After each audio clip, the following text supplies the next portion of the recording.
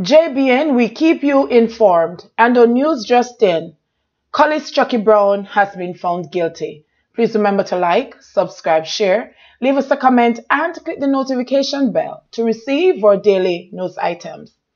Police Constable Collis Chucky Brown has been found guilty on three counts of murder. He was found guilty on one count of wounding with intent and conspiracy to commit murder.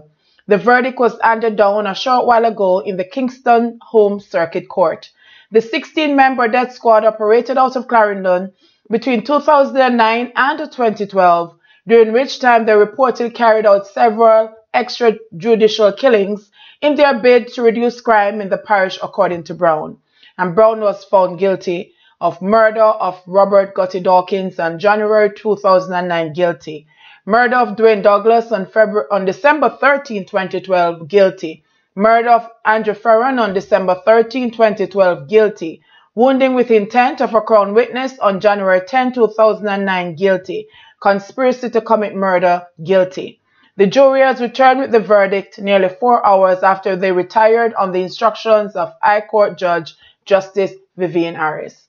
What is your take on this? Do you think he is guilty or he should have been found not guilty?